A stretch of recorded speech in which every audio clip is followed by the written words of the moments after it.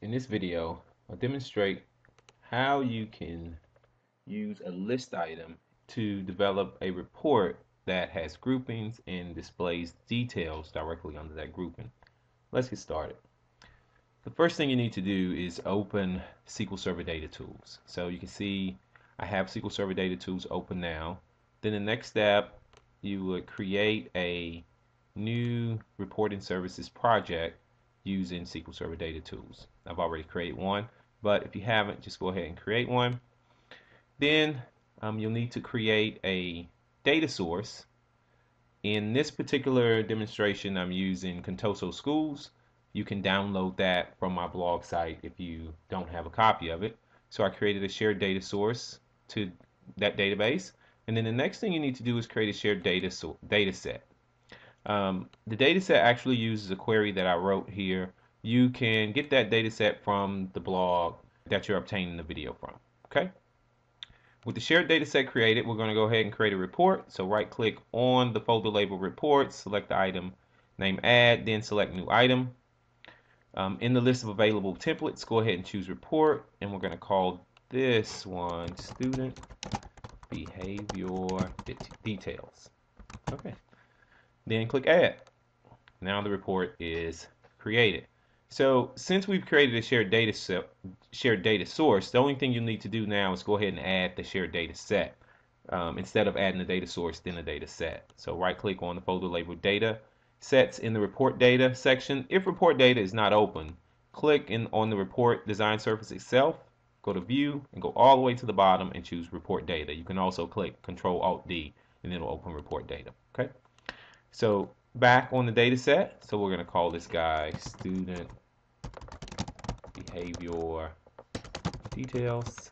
I believe you can't use spaces in the data set name. It'll get angry at us. Um, and then choose that shared data set and click OK. Now you can see all the columns that are available in the uh, data set that we've added. The first thing you need to do is open up the toolbox. And you can see I've opened it up here. If not, go to View, and find toolbox in the lists right there or control alt X that'll get it open also. Um, and then drag a list item over to the design surface okay? I'll just format it just a little bit. Perfect. The next thing you need to do is press F4 that'll open the properties window.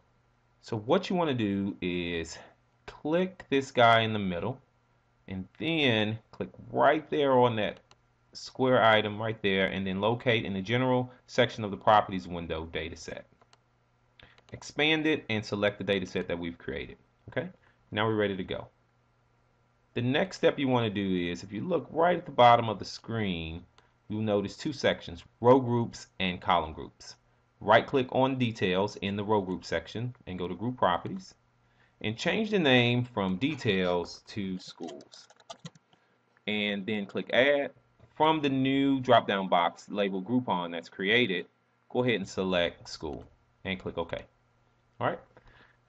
So you'll repeat this step a couple of times because we're going to um, have embedded list controls inside of list controls inside of list controls. The next step is to go ahead and drag a text box from the toolbox into the list box, okay? The list object item list item.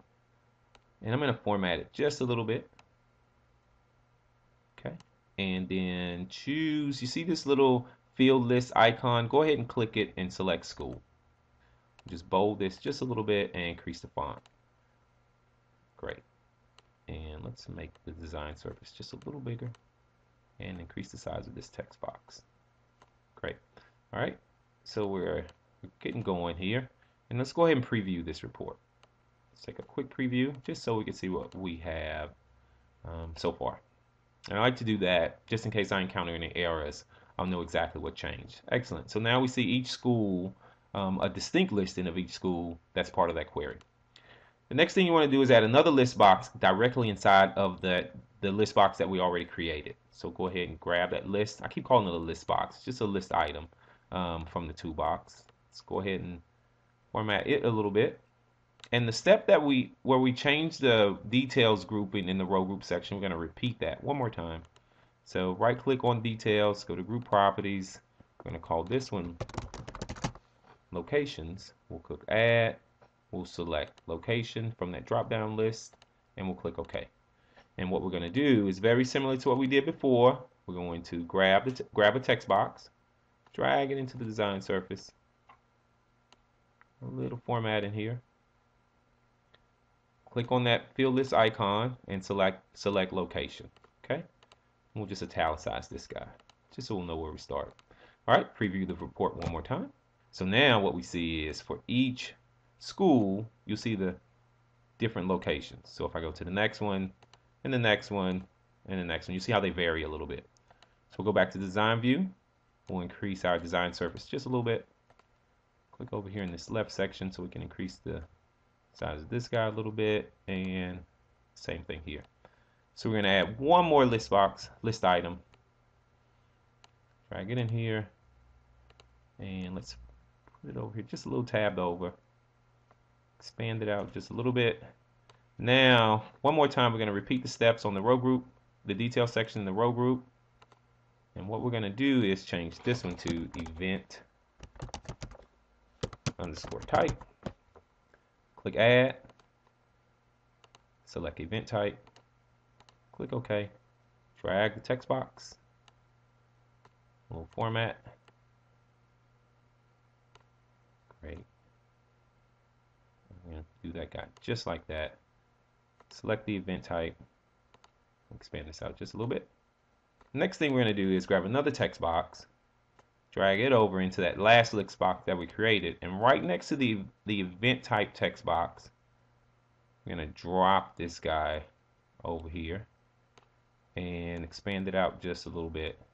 And then in the field list, we're going to choose behavior. That's like our aggregated um, value. And right click on this because I want to format this just a little bit um, and choose um, properties and go to number and just give that guy a number. We don't want any decimal places.